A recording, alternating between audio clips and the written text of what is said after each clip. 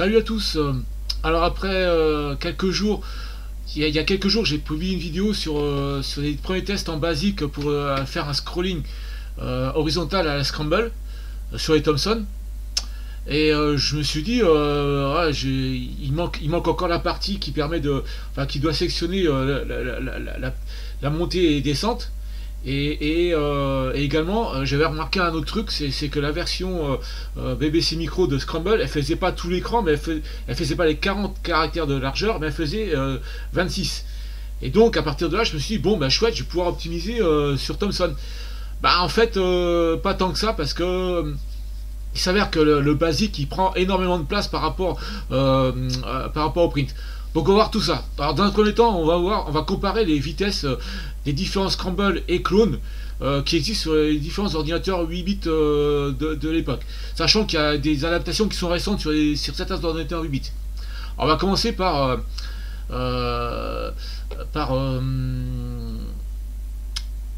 par Pulsar 2 et donc alors je vais mettre ça par là Pulsar 2 qui est ici je vais la mettre euh, alors je vais d'abord la faire défiler. Espérons que ça marche. Donc là sa vitesse réelle. Ah non c'est pas vitesse réelle pardon. Je vais mettre ça par là. Euh, c'est pas vitesse réelle et euh, là ça va à- à- donc à- au quart de la vitesse réelle. Je vais mettre à vitesse réelle pour voir ce que ça donne. Donc voilà, ça c'est Pulsar 2. Si je mets la vitesse, à- si je divise par 4 la vitesse, donc là je vais à- et je calcule le temps, en fait il s'avère que Pulsar 2 a une vitesse moyenne de, rafraîchissement de 5 images par seconde. 5 images. hein. Donc on va passer sur un autre, euh, sur une autre, euh, un autre adaptation de Scramble sur Thomson, c'est Space Tunnel. Alors là je suis à combien là? Vitesse de lecture normale. Donc là, on va voir en fait que c'est encore plus long. un classique d'arcade, mais euh, avec des supérés du fuel au passage. Bon. Ah zut. Ça je l'avais déjà eu. Donc là, si je mets, euh, si je mets en vitesse un quart de seconde et je calcule, en fait là, on tombe à 3 images par seconde seulement. Donc on a deux jeux Thomson euh, qui sont adaptations de Scramble qui sont à 5 images par seconde, voire moins.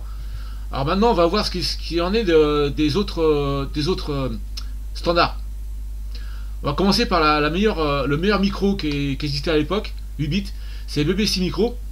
Alors le BBC Micro, eux ils ont un 6500 6502 à, à 2 MHz, donc c'est deux fois plus rapide qu'un qu'un qu'un C64 par exemple, ou euh, c'est euh, c'est deux fois plus rapide que, que le, le- Thomson à 1 MHz. Et donc, si je vais euh, sur la vidéo, alors la vidéo elle est pas là. Donc là, en fait, l'adaptation de, de Scramble qu'on a sur BBC Micro. Alors j'efface ça, j'efface ça. Hop. En fait, elle est, elle date de 2018. Vous voyez, 2018. Voilà. Et si je lance la vidéo, c'est là.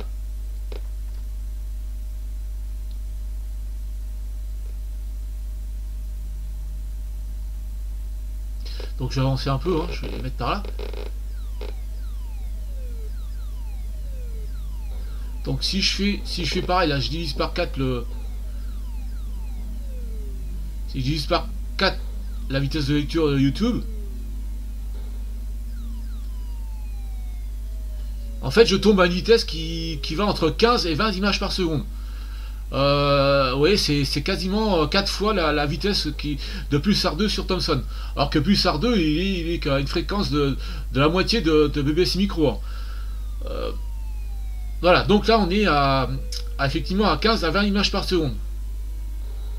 Je vais en vitesse normale. Vous voyez, c'est vachement fluide. hein. C'est quasiment la même vitesse que, la borne d'arcade. Donc on va passer euh, à Scramble sur ZX Spectrum. Alors la version BBC Micro date de 2018, hein, c'est une super adaptation. Euh, donc on va taper euh, la, la version de ZX Spectrum. Alors ça doit être celle de 1983 je pense. Ouais, celle-là c'est celle de 1983.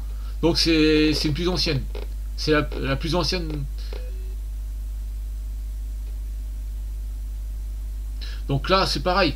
Alors par contre, là, ce qu'on voit, ce qu'on voit, c'est que c'est hyper saccadé. Vous voyez? C'est hyper saccadé en fait. C'est pas fluide hein, du tout. C'est-à-dire que le... Là, en fait, on voit que le... Attends, je vais mettre... Euh, on voit que... Hop Ça fait comme des sauts quantiques, en fait, vous voyez Il n'y a pas de, fluidité dans, le mouvement. Et euh, la vitesse ici, alors, euh, alors que BBC Co c'est entre 15 et 20 images par seconde, ici on est à peu près, à peu près entre, entre 12 et 14. Ouais, chronométrie, on va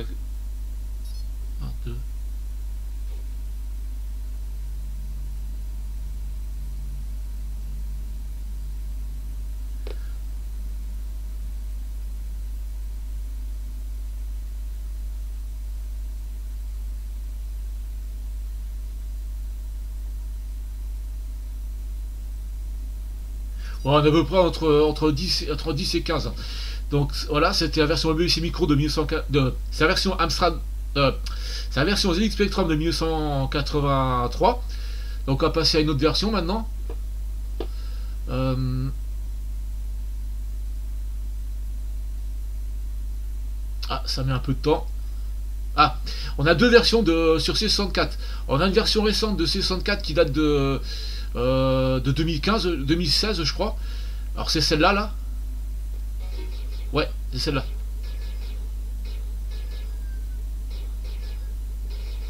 Là si je mets... Euh, si je mets en 0.25, alors comment que ça fait?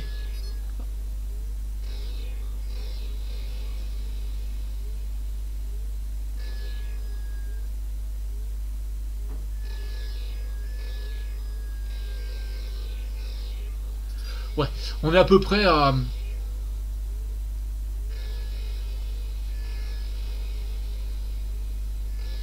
Alors on est à peu près à du... Euh, euh, alors comment ça fait Ça doit faire du 200 par 13, 200 par 13, 200 par 15. Euh, ouais, on doit être à peu près entre 10 et 15 images par seconde à peu près. C'est plutôt... Et en plus l'animation est plutôt fluide. Hein. Vous voyez? C'est du normal. Voilà.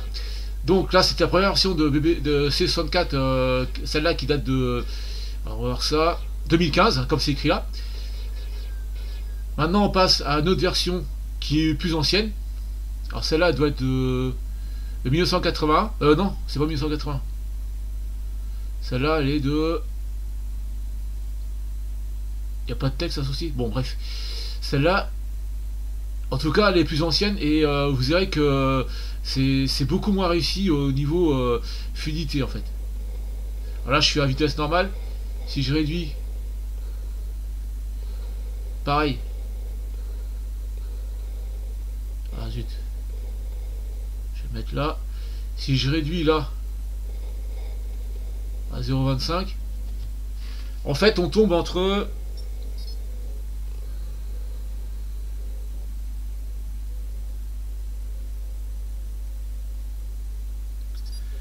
On est à peu près à, du... Euh, alors ça fait, ah, ça fait 10, 4, 40, on est à peu près à 5 images par seconde, tout comme le Pulsar 2 sur Thomson. Donc là, on a une version qui est, très, qui est très lente de, sur C64. Alors on va passer à, autre chose. Là, c'est la version Amstrad CPC qui date de... Euh, alors si je dis pas de bêtises...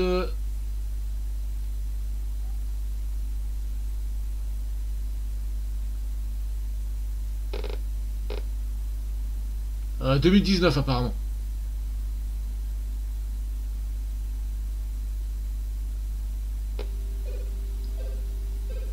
Alors l'Amstrad il est à 4 MHz, hein, ce qui vaut à peu près à 1,33 fois la puissance de Thomson. Donc là je vais directement... Euh, j'avance parce que... Hop, voilà. Là, c'est pareil, on est à peu près entre 15 et 20 images par seconde. Hein. Tout comme le BBC Micro. Voilà. Et là, euh, j'ai une version Auric Atmos. Alors, ce qu'il faut voir sur Auric Atmos, c'est qu'en fait, il y a... Euh, la largeur d'écran de Heroic Atmos, elle, fait beaucoup moins de, 40 caractères. Elle doit faire 15, à, 15 à 20 caractères. C'est pour ça que ça paraît rapide, mais en fait... en fait, si on est dans le détail, on met, on met la vitesse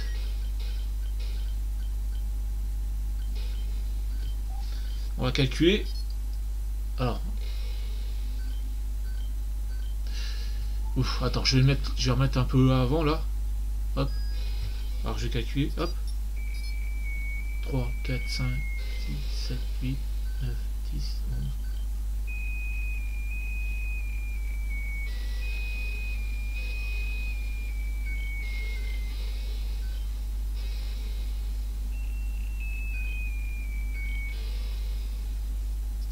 On est à peu près à 200, on est à peu près à 10 images par seconde.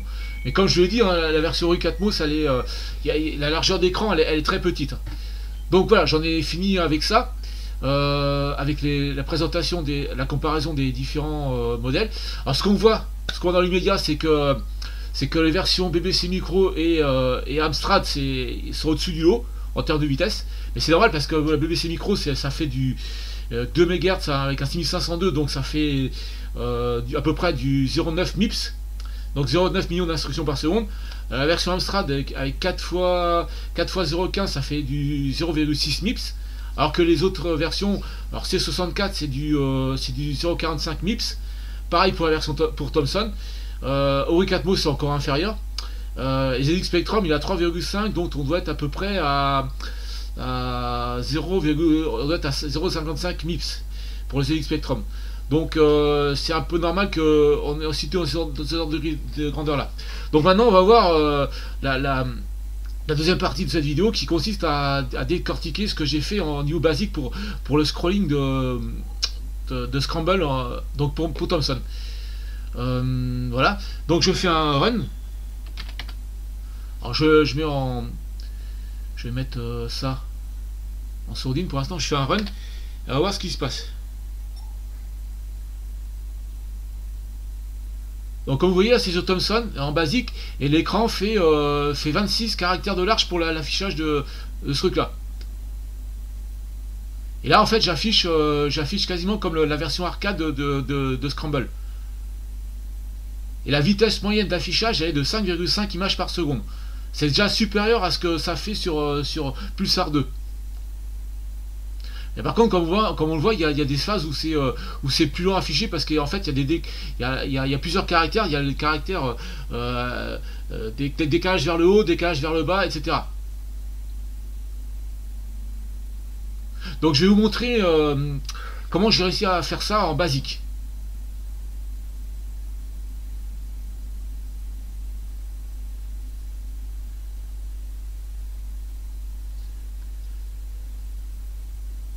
Donc on attend encore un peu. Et là, ça va s'arrêter là. Enfin, il y a encore un petit monticule là. Voilà. Donc je fais, j'appuie sur espace. Euh, là, je remets la caméra. Donc, alors, pour en venir à comment j'ai fait pour le basique. En, fait, euh, Samuel de Vulder, il a, il a eu euh, une, il a eu une partie de la réponse, enfin en, parlant de, de tracer le long de la crête enfin le long de la ligne de, crête, hein, de, enfin de la terrestre. Et c'est effectivement ce, que j'ai fait, mais pas comme il a entendu lui. Sachant que le basique, on, ne peut pas faire des décalages, des, décalages à gauche ou à droite parce que ça prendrait énormément de temps. Euh, en fait, l'idée m'est venue euh, parce que ça faisait un bout de temps que je réfléchissais, mais comment on peut faire un scrolling euh, de scramble sur sur Thompson? Et en fait, ça m'est venu jeudi dernier, quoi, il y a une semaine. Enfin, il il y a une semaine. Je vais mettre ça dessus. Et euh, je me suis dit, tiens, pourquoi ne pas utiliser les, chaînes de caractères pour, euh, afficher euh, petit à petit le, truc Alors, je vais vous montrer un peu ce que j'ai utilisé en fait. J'ai utilisé quatre chaînes de caractères qui s'appellent sol dollar, qui font la largeur de. Enfin, qui sont juste pour tracer les, les, contours du sol. Donc, je vais faire par exemple print sol, sol dollar, enfin sol 0, et vous allez voir ce que ça affiche. Alors, vous voyez, là, on a les. en fait, ce qui, le, dernier, la dernière valeur de sol 0 qui est là. Donc, je vais faire pareil avec les trois autres. En fait, j'ai quatre, j'ai quatre types de j'ai quatre euh, types de chaînes de caractères qui utilisent quatre jeux de, de GRS, de, de, caractères utilisateurs. Et chaque, caractère utilisateur, il y a, il y a, il y a, il y a, y a, il y a 7, euh, j'ai défini 7 GRS pour, euh, pour, chaque, euh, pour chaque chaîne de caractères. Donc là, je vais faire. Faire pareil avec Sol 2. Print.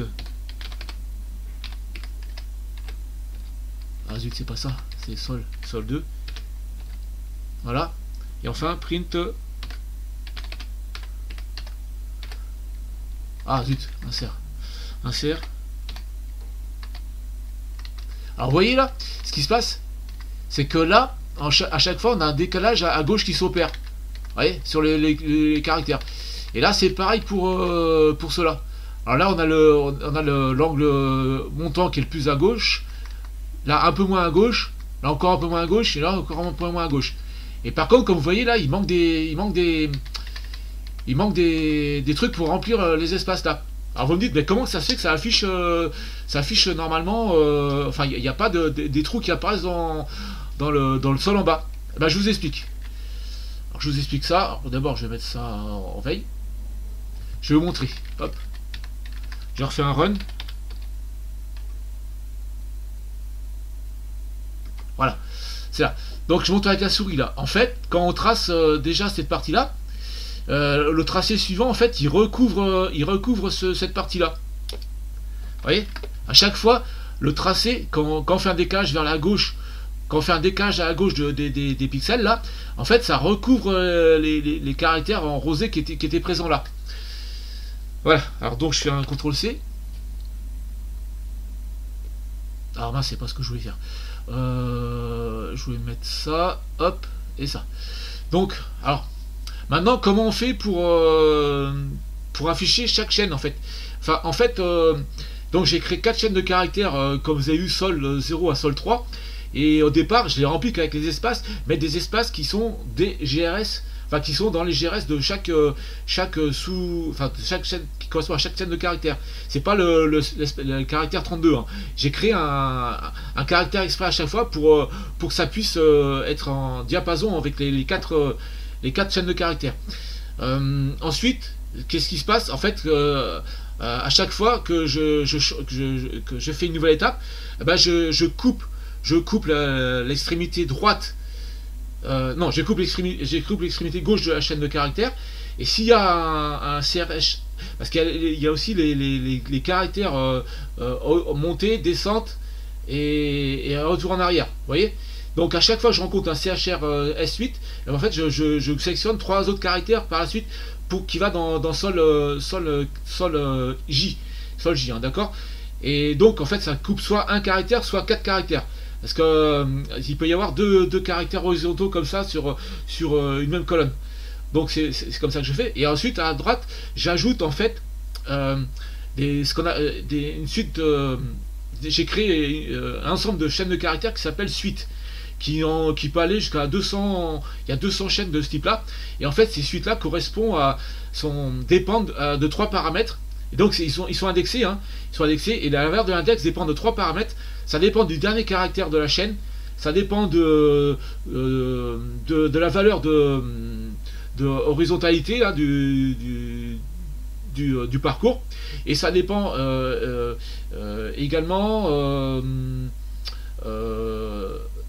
de la, de la chaîne de caractères elle-même. C'est ça, hein, si je dis pas de bêtises. Ouais, ça dépend de, J. Hein. Donc ça dépend de trois paramètres. Et à chaque fois, donc en fait, on a, on a une suite, une chaîne qui s'appelle suite, que j'ajoute et qui correspond effectivement à ce truc-là. C'est la, la, manière la plus rapide qu'on puisse faire pour, euh, pour afficher euh, ce truc-là en basique. Mais malheureusement, j'ai fait également des tests de comparaison euh, entre la, colonne de, de 26 caractères et 40 caractères. Et j'ai découvert qu'en fait, le print, il permettait d'afficher 630 euh, caractères à la seconde. Et malgré cela, en fait, le, différentiel que j'ai entre les 40 et 26, en fait, il est, beaucoup trop faible. Et pourquoi? Ben, En fait, c'est parce que le basique, il prend. Euh, le basique, il est trop trop lent, il a interprété. il, utilise 75% du,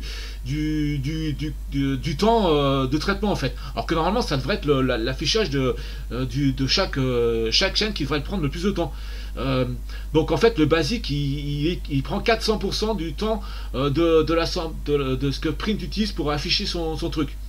Donc en théorie ça veut dire quoi? Ça veut dire que si j'écris un programme assembleur qui se charge de, changer les, caractères de chaque chaîne, en fait, ça prendra que 10% de, même pas 10% de, du truc.